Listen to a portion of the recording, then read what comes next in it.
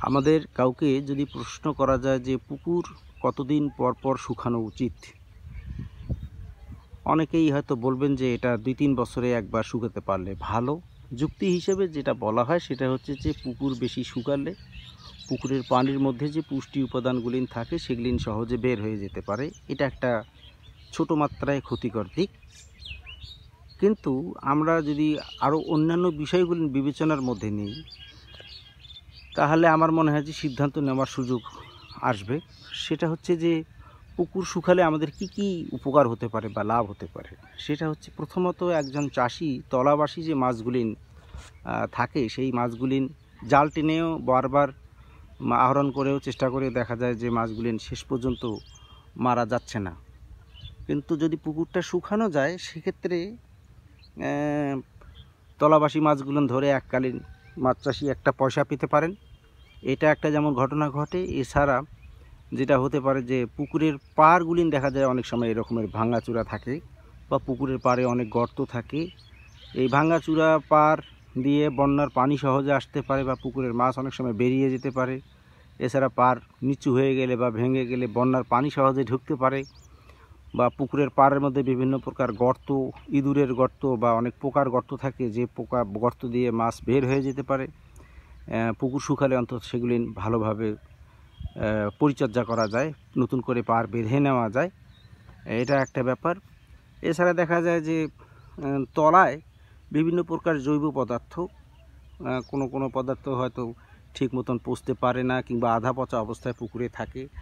পুকুর শুকালে এই ধরনের আধা পচনশীল পদার্থ জমাকৃত যেগুলিন থাকে সেগুলিন পচে এর পুষ্টি সার করতে পারে। এছাড়াও অনেক পুকুরে দেখা যায় যে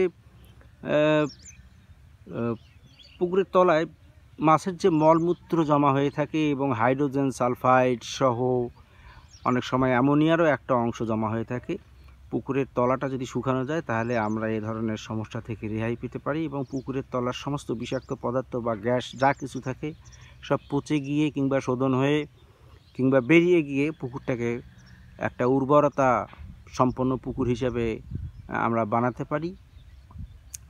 আর এছাড়াও পুকুরের তলা শুকালে যেটা দেখা যায় সেটা হলো যে বিভিন্ন প্রকার ঘাস, লতা বা এরকমের গুল্ম জাতীয় জিনিস যেগুলিন তৈরি হয় সেগুলিন পরবর্তীতে মাছের খাবার হিসেবে ইয়ে হয়ে থাকে। আর একটা জিনিস হচ্ছে সেটা হচ্ছে যে একক মাছ চাষের ক্ষেত্রে তো এটা তো একদম খুবই প্রয়োজনীয় যে তলা শুকিয়ে তলায় যে জমাকৃত মলমূত্রগুলি এখানে বেশি মাত্রায় থাকে এগুলিন বের করে নেওয়ার একটা সুযোগ থাকে।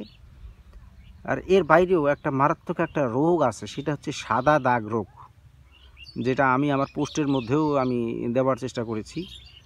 এটা প্রোটোজোয়া বা এককোষী প্রাণী এর পরজীবী, এর উপস্থিতিজনিত কারণে এইগুলিন হয়ে থাকে।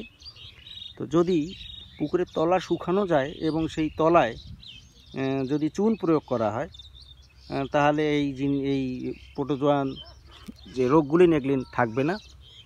আর তাছাড়া দেখা যায় যে পুকুরের তলায় অনেক সময় কাঠ, বাঁশ বা এ ধরনের কিছু কঠিন পদার্থ থাকে, যেগুলি নিয়ে উকুনের প্রাদুর্ভাব ঘটে বা যে জায়গাগুলো নিয়ে উকুনের ডিম ছাড়ে বা ডিম উকুন লেপটে থাকে।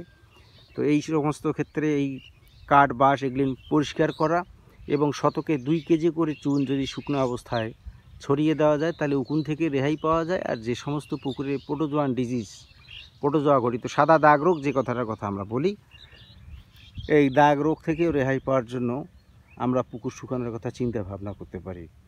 তো যাই হোক, যদি কারও পুকুরে পানি সরবরাহের ব্যাপারে বিশেষ বিঘ্ন বা বাধা না থাকে, তাহলে তিনি ইচ্ছা করলে প্রতি বছর যদি একবার করে পুকুর শুকান, তাহলে তার পুকুরে ক্ষমতা, উর্বরতা, ক্ষমতা অনেক বাড়বে এবং আমি মনে করি যে চাষি লাভবান হবেন।